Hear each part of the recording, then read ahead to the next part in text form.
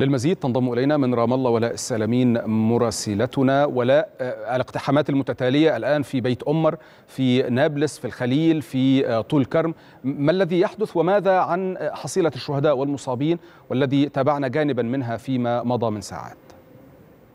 نعم هناك بعض المناطق التي انسحبت صباح هذا اليوم منها قوات الاحتلال. على سبيل المثال من من مخيم عسكر وبلاطة وأيضا غيرها من المناطق لربما أيضا مناطق الجنوب ولربما تكرر هذا الاقتحام لبعض البلدات والقرى والمخيمات. ولكن العملية التي لا زالت مستمرة وأكثر من عشرة ساعات هي مدينة طول كرم ومخيم طول كرم.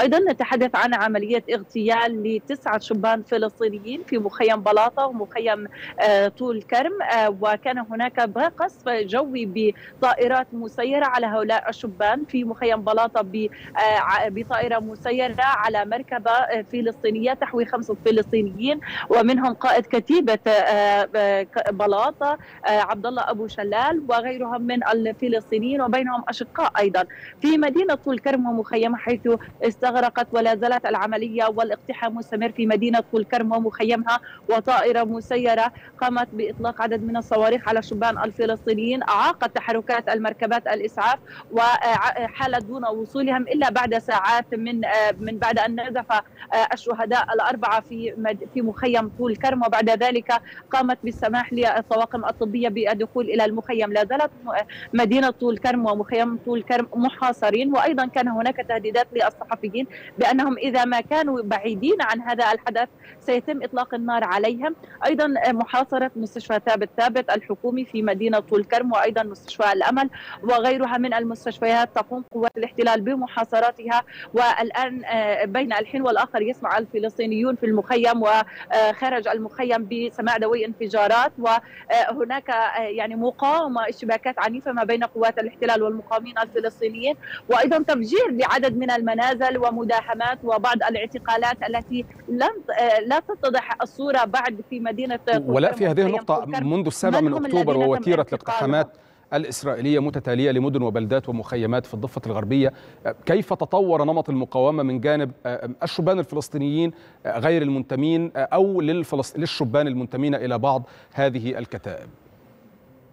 نعم يعني منذ العام الماضي وقد شهدنا اشتباكات يعني غير الاشتباكات التي كانت ما بعد اجتياح 2002 كنا نتحدث عن مسيرات سلمية عن الحجارة الان نتحدث منذ العام المنصرم ولغاية الآن نتحدث عن اشتباكات مسلحة ما بين الحين والآخر ما بين مقاومين فلسطينيين وأيضا قوات الاحتلال تستخدم فيها الأكواع محليه الصنع وأيضا العبوات الناسفة محليه الصنع. الاشتباكات لا تزال مستمرة ما بين الشبان الفلسطينيين وقوات الاحتلال وأيضا رقعة هذا الاشتباك من الشمال وحتى الوسط وحتى الجنوب تزداد رقعتها بفعل أن قوات الاحتلال ترتكب المجازر وتنتهك كما أيضا البيوت وتقوم بإطلاق النار كما حدث يوم أمس في بلدة دورة حيث أطلقت الرصاص بشكل عشوائي واستشهد فلسطيني وفلسطينية ولم يكن لهم أي شيء من المقاومة.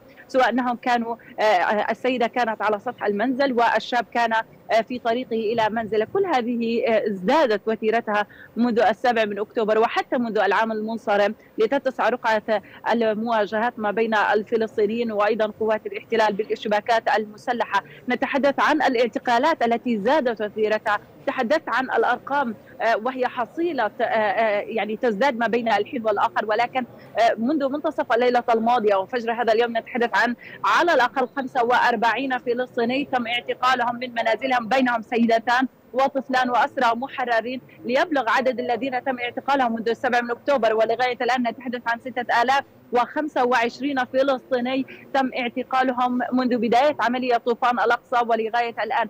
أما بخصوص الشهداء فقد ارتفعت أعداد الشهداء منذ السبع من أكتوبر ولغاية الآن. نتحدث عن 300 وأكثر من 350 شهيدا. بفعل أن قوات الاحتلال تقتحم هذه البلدات والقرى وتقوم بقصف للمخيمات والبلدات. وتقول أن هذه هي خلايا إرهابية. بالنسبة لها ولا بالنسبة للفلسطينيين هم مقاومين فلسطينيين. وأيضا تقوم بإطلاق الرصاص الحي باتجاه المواطنين وتستهدفهم. ولا حقيقة الزملاء يعرضوا الآن لبعض اللقطات التي كانت في اقتحامات خلال الليالي القليلة الماضية والجبات العسكرية الإسرائيلية لا تحاصر فقط المستشفيات وإنما عمليات التوقيف التي تتم حتى لسيارات الإسعاف على النحو الذي نتابعه الآن. شكرا جزيلا لك على حال ولاء السلامين مراسلتنا. كنت معنا على الهواء مباشرة من رام الله. شكرا جزيلا لك.